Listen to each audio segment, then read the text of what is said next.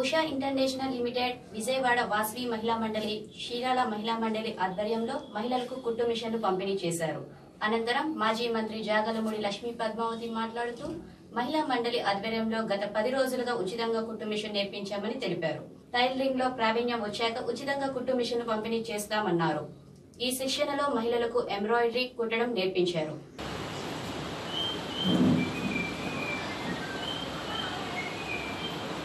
Two seconds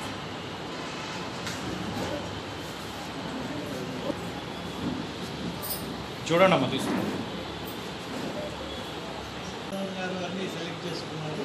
వాళ్ళ చేతే కొత్త మిషన్లు పార్సల్ ఇప్పించి వాళ్ళ చేతే దిగించి అన్ని పార్ట్స్ ఎట్లా ఫిట్ చేయాలా మిషన్ రిపేర్ ఎట్లా చేయాలా అనేది నేర్పించారు ఇప్పుడు ఆల్రెడీ మేము జిల్లా మొత్తం నేర్పిస్తుంటాం అందరికి మహిళలకి. కాకపోతే మిషన్ రిపేర్ అనేది ఇదే ఫస్ట్ టైము.